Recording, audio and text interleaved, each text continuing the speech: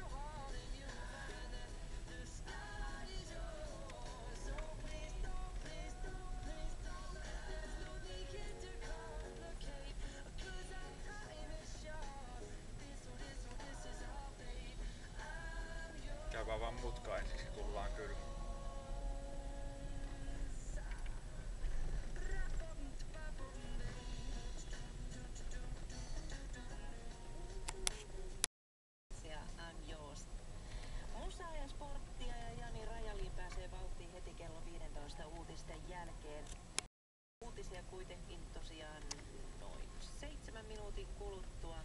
Uutiset toimittaa Raisa Pöllänen. Uutisissa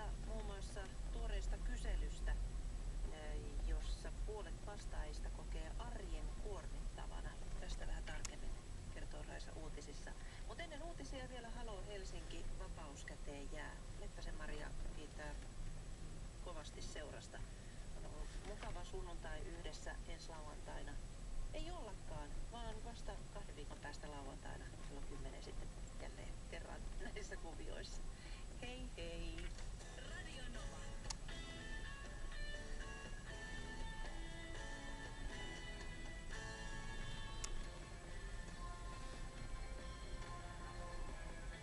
Serena on ihan täysin tyhjän päällä.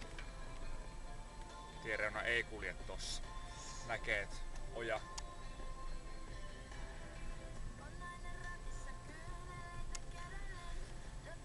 Se on hyvä, tää tie talvella levenee kolmanneksen.